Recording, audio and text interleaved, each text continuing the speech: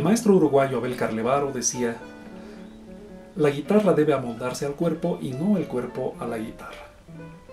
Desde siempre nosotros hemos usado el banquito, llamado también escabel o posapié, para poder poner el pie izquierdo eh, sobre él y elevar levemente la pierna izquierda y de esa manera cuando ponemos el instrumento eh, sobre la pierna izquierda que no se resbale, que la pierna no esté en bajada y poder sufrir este, esta sorpresa mientras tocamos. Con esto no pasa. Pero posteriormente hay muchas consideraciones eh, a nivel físico.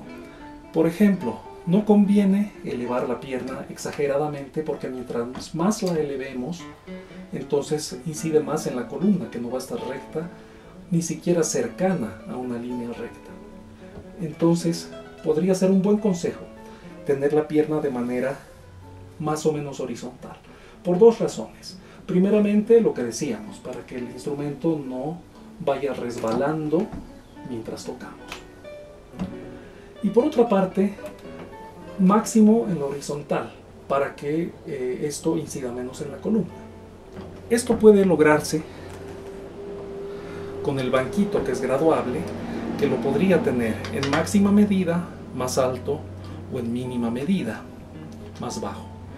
Dependiendo del tamaño de la silla, uno puede graduar esto. Puede ser con la ayuda del banquito o puede ser también si se trata de un asiento más bajo que deje la pierna más o menos horizontal. Pero el resultado es que si yo pongo el banquito con la pierna más o menos horizontal, quizás el instrumento me quede un poco bajo.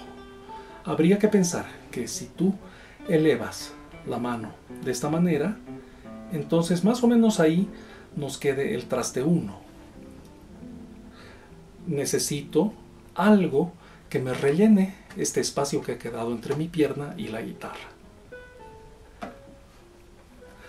Entonces ahí vienen lo que se llaman prótesis, que no se usaban antiguamente, que siempre se usaba solamente el banquito, o bien eh, cualquier tipo de estos modelos que desde hace 20 años para adelante se usan muchísimo.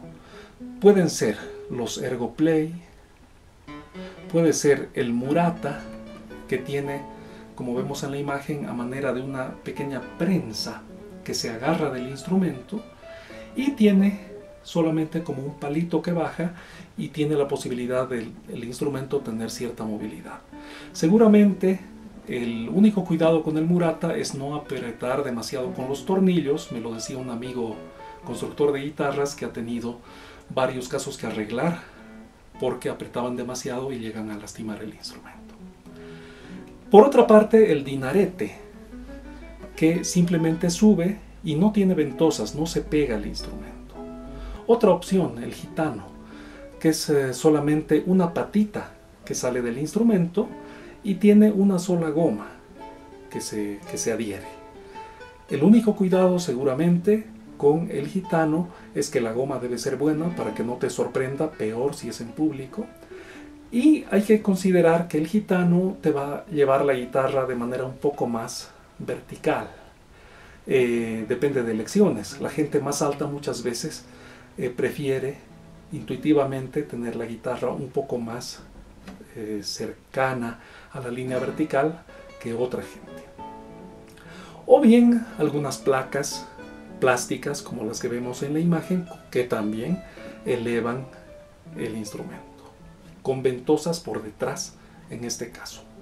Pero simplemente para considerar cuánto podemos elevar el instrumento y ver diferentes pros y contras, analicemos eh, el ErgoPlay en sus dos modelos. ErgoPlay básicamente tiene dos modelos. Este es el modelo Thruster. Tiene la característica de elevar el instrumento tanto por este lado como también por el otro. A mí me parece que esto está destinado un poco más a la gente de alta estatura o también hay personas que no necesariamente son tan altas pero sí tienen el tronco más largo. Por ejemplo, si yo tengo la pierna cercana a la horizontal y pongo encima el thruster, el resultado es este. La mano izquierda está bastante bien, pero eh, también me ha elevado esta parte, la parte del instrumento de la caja.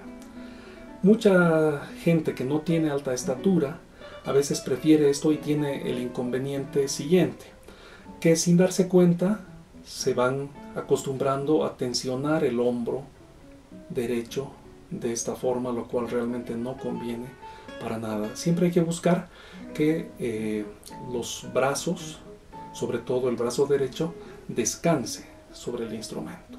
Pero hay gente alta a la cual le viene de maravilla el thruster.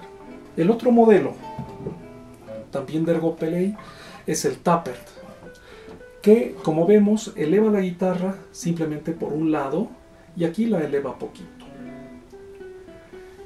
Hay modelo de niño, que sería este, que es más corto, y el modelo tradicional, que tiene la plataforma más larga.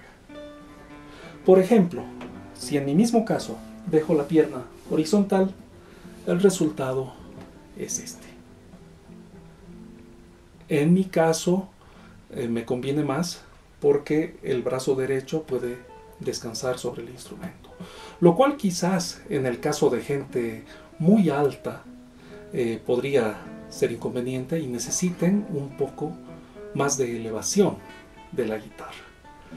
Muchas cosas a considerar, hay muchas elecciones para poder tocar cómodamente, placenteramente y saludablemente la guitarra. Los invito a suscribirse a mi canal, los invito también a darle like a mi página.